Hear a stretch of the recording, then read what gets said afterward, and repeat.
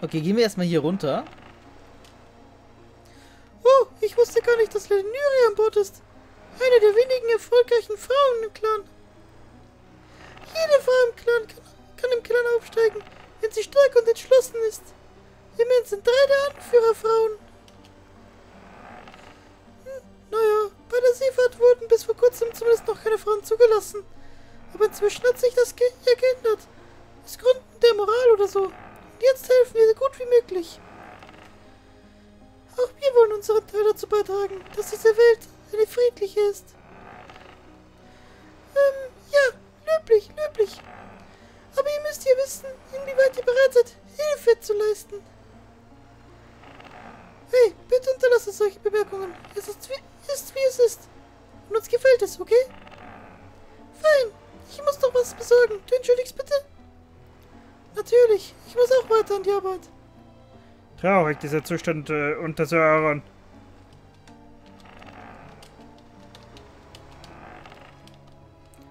Äh, Moment mal, das ist eine geöffnete Truhe. Waren wir hier schon mal? Ja. Ich glaube, das kommt mir bekannt vor. Wir suchen trotzdem nochmal. Ich hoffe, unsere Vorräte sind ausreichend für eine längere Zeit. Es scheint, wir müssten noch eine Weile hier bleiben. Sorge, ich werde dafür sorgen, dass ihr bald wieder so segeln könnt. Das wäre toll. Wir sind starke Männer und werden die Eures das Fürchten lehren. Na, jetzt übertreibt mal nicht. Also ich zittere schon vor Angst. Jetzt hört auf, ihn zu ärgern, ihr zwei. Ja, ja, spottet ihr nur. Dann guckt ihr doof, wenn ich euch die Köpfe der Eres-Anführer bringe. Ich kann es kaum erwarten.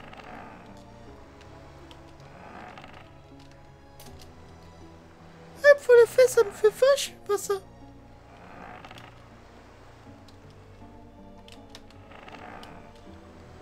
Leere Fässer für Frischwasser.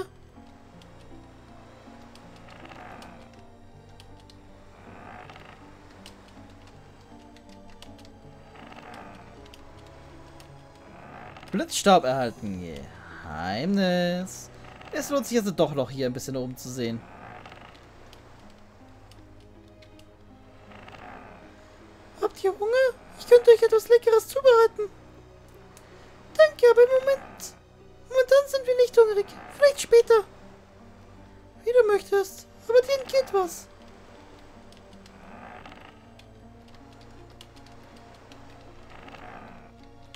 Ist sie gerade schief gegangen? Wie zur Hölle ist sie schief gegangen?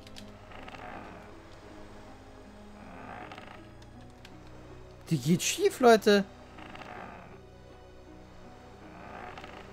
Tatsache.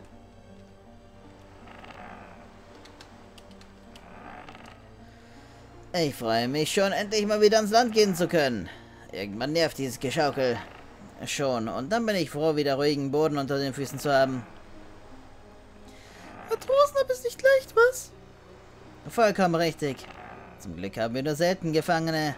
Die machen auch nur Probleme. Dauernd schreien die nur rum und ständig muss man denen was zu essen bringen. Schon gut, schon gut. Das kannst du mir alles später mal erzählen.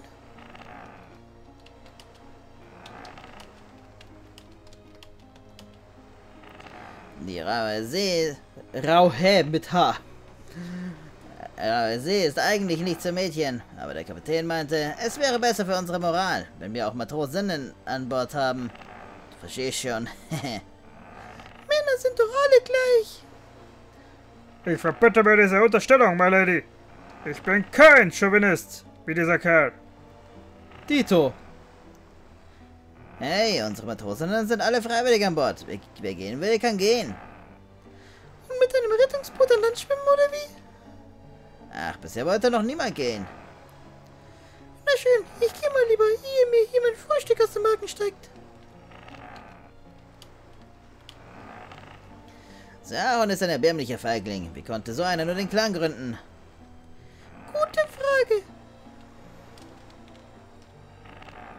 Nein, wir waren noch nicht... Ich glaube, das ist ein Bug. Egal. Aber wir, wir waren noch nicht hier, denn da ist noch eine geschlossene Truhe, Leute. Oh, da kommen wir nicht nach hinten. So, können wir so durch? Nein. Zweimal gutes Fell erhalten, schwarzer Stein erhalten, Speicherstein erhalten. Schön.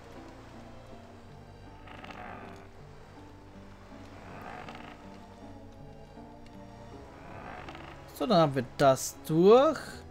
Ich glaube, dass der Kapitän da drin ist. Ich rede jetzt mal mit dem hier. Oberster Matrose, genau. Oh, hallo müsst ihr euch schon in dieser Bucht verstecken?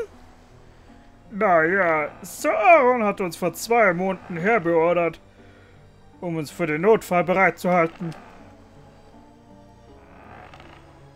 Wir so wollten liebe Missionen für den Clan fahren, aber uns fragt ja keiner. Keine Sorge, wir werden sicher Verwendung für euch haben. So? Nun, wenn der Kapitän euch und euren Kamera Vampiren folgt, wird es schon richtig sein.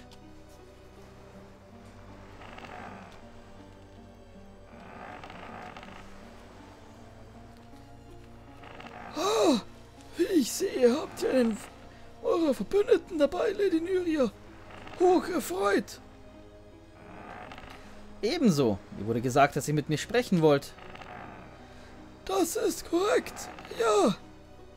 Ich vertraue Lady Nyria, da ich mir während ihrer Zeit beim Clan ein deutliches Bild davon machen konnte, welch aufrichtige Art Mensch sie ist.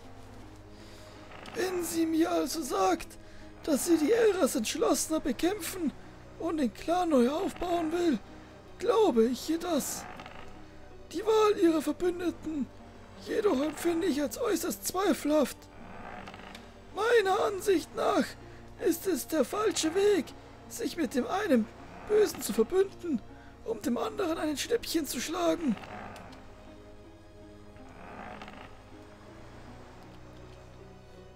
Ich verstehe eure Skepsis. Aber böse ist nicht gleich böse.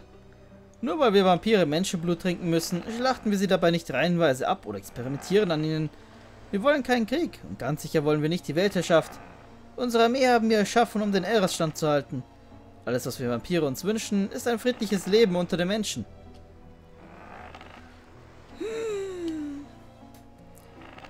Ja, eure Worte erscheinen mir zumindest aufrichtig, Bursche. Und ich spüre, dass ihr keine böse Person seid. Vielleicht war ich etwas voreilig mit meinem Urteil über alle Vampire. 1000 Erfahrungspunkte erhalten. In jedem Fall steht es mir ohnehin nicht zu, ein Urteil über die Verbündeten des Clans zu fällen. Wir werden euch folgen und von nun an für euch segeln. Seien es Steuereintreibungen oder Warenlieferungen. Auf die Lasalantin ist Verlass. Danke, Kapitän. Wir wissen das sehr zu schätzen.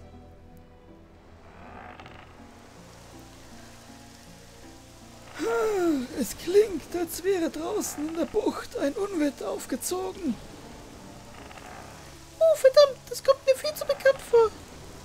Ein Glück. Ich dachte schon, es geht nur mir so. Es wird doch nicht gleich. Hm? Wovon redet ihr? Verflucht, was geht da vor? Kapitän, das Schloss Schiff wird angegriffen. Schon wieder. Was zur Hölle? Überraschung. Kapitän, wir werden euren Leuten abermals helfen. Dann könnt ihr euch selbst von der Stärke der Vampire überzeugen. In Ordnung. Ich habe hier noch ein paar Heiltränke, Lady Nyria. Die werden uns helfen. Sechs Heiltränke erhalten, drei Tränke der Ewigkeit erhalten. Speichern. Auch bevor wir rausgehen, plündern wir erstmal.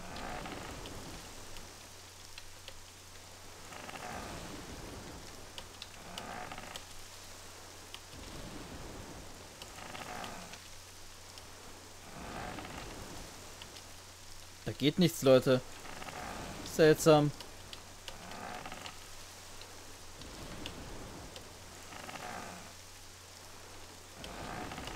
Hm. Gut, dann halt raus. Befreien uns diese Viecher etwa? Das ist ja gruselig. Zeigen wir ihnen, wo wir ihre Familien hingeschickt haben. Ich kenne die Dinge zwar noch nicht, aber die bluten sicher auch noch auch nur rot.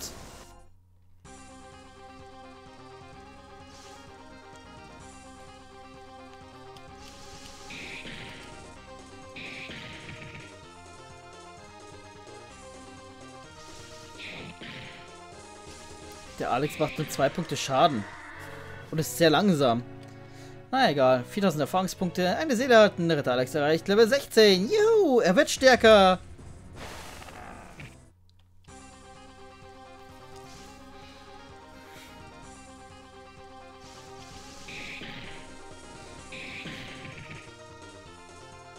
Die Viecher machen bei Nyria und bei Valna gar keinen Schaden. Ah, vier Punkte Schaden jetzt. Der Schaden hat sich verdoppelt von Alex. Finde ich schön. Aber bei Alex machen sie Schaden, oder war... Ach nein, durch den Levelaufstieg, genau.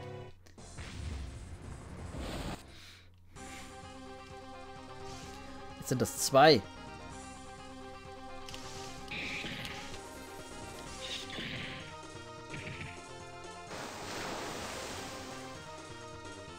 Alex ist fast tot.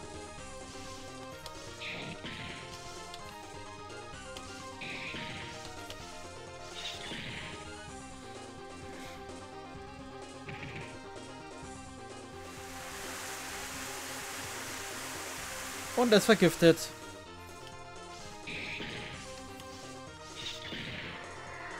Einer ist besiegt.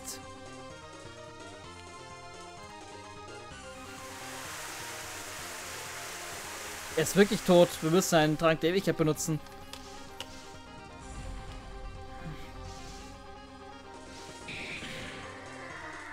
Um einen Angriff, Leute. So ganz knapp. Naja, 8000 Erfahrungspunkte, zwei, eine Seele nur. Ritter Alex hat Level 17 erreicht. Super.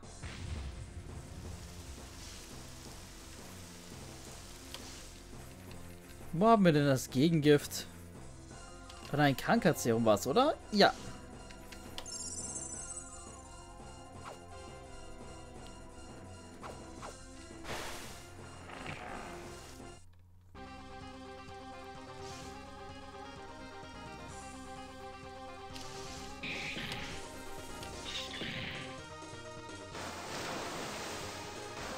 Schon wieder tot.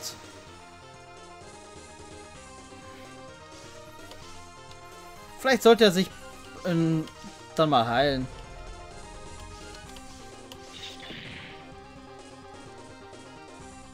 Wenn er das nächste Mal drankommt. Ach komm, das gibt's doch nicht.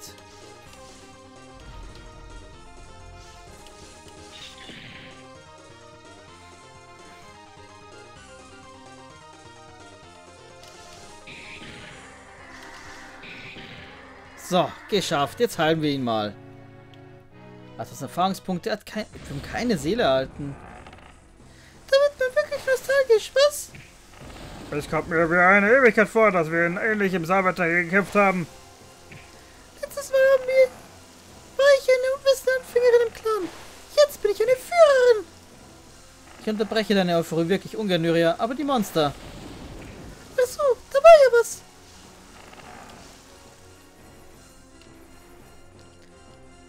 Hm, mach mir Heilbalsam. Haben wir eh ganz oft.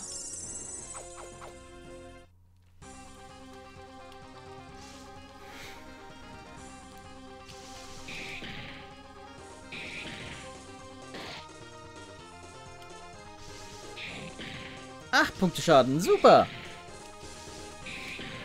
Alex wird stärker. Er erreicht Level 18 und hat Entwaffnung erlernt. Und Umschlag kann er blutiger Schnitt, Hitzeklinge, Kriegsreißer, Axtschwinger, Sonnenstich, eisiger Lehmschnitt und jetzt Entwaffnung. Verringert gegnerische Angriffskraft. Aha.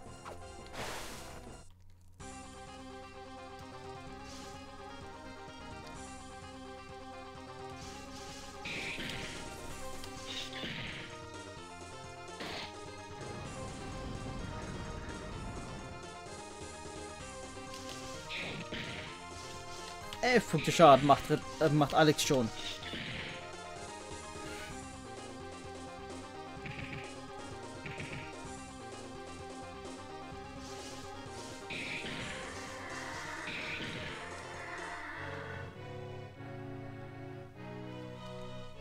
Keine Seelen erhalten.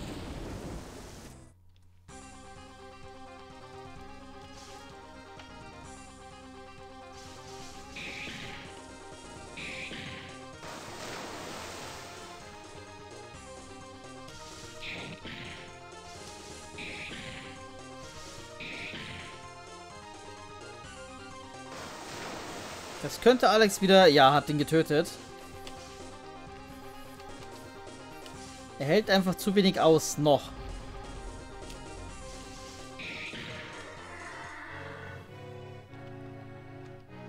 Level 19 erreicht. Juhu. Heilen wir ihn mal.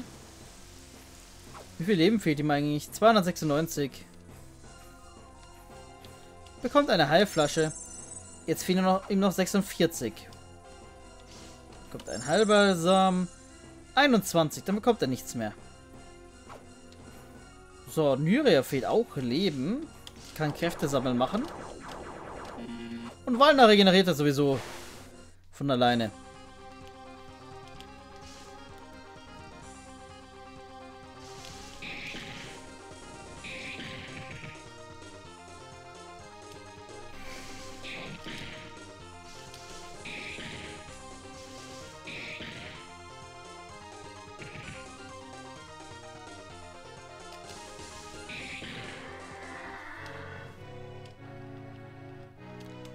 Erfahrungspunkte bekommen.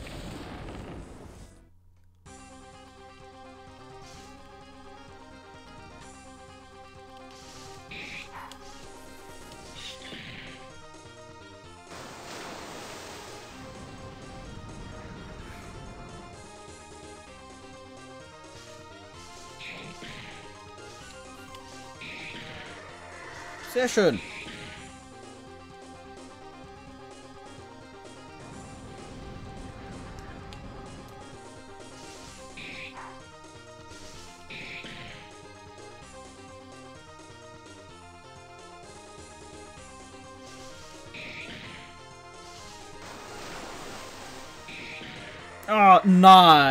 Das ist nicht gut.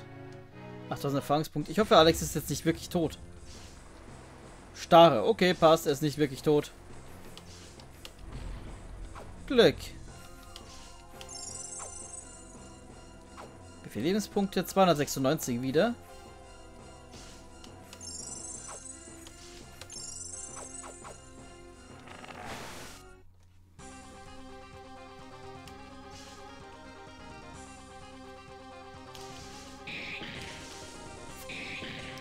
Kommen ja irgendwie immer mehr und mehr Leute. Von diesen Viechern. Ich frage mich, wann das Schluss ist.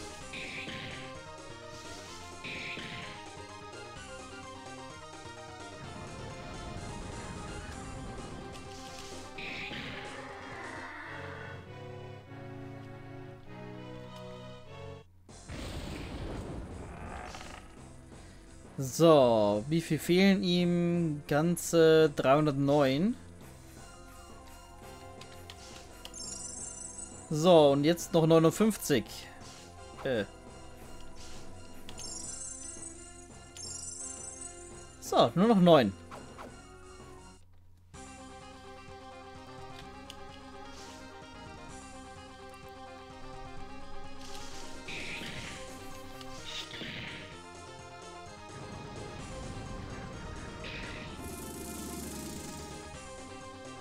Der hat sich geheilt.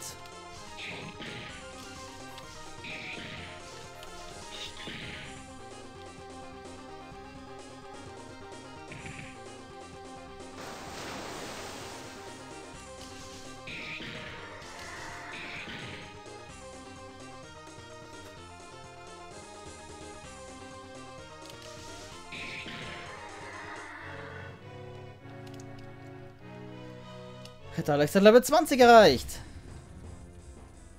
Deutlich stärker als die letzten. Das bereitet mir Sorge. Als würde alles in dieser Welt stärker werden. In zehn Jahren überrennen solche Viecher doch unsere Schlösser. Bis dahin sind wir längst wieder in unserer Welt. Ach ja, richtig.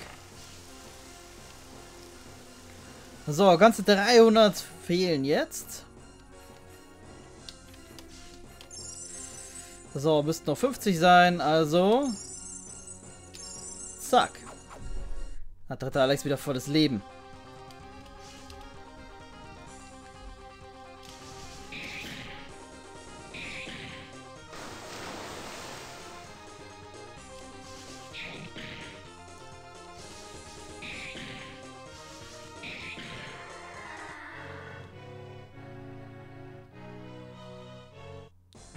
Schön.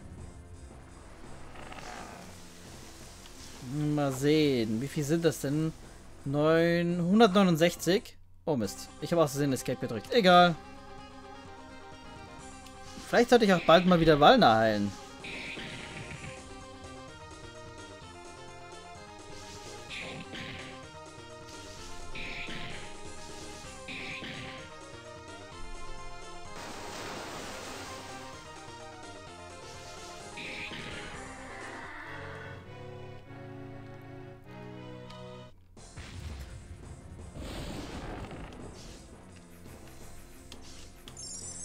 Okay, jetzt sind es 240.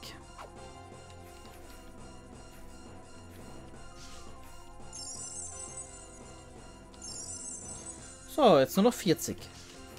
Zack, muss reichen. Ich lasse Lyria auch mal wieder heilen.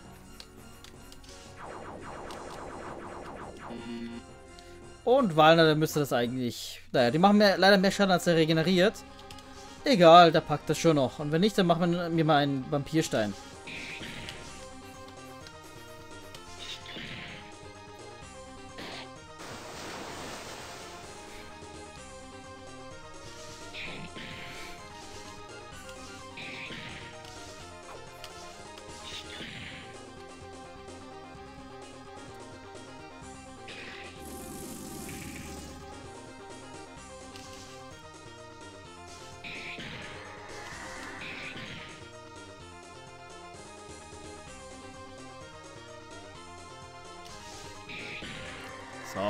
Beide besiegt.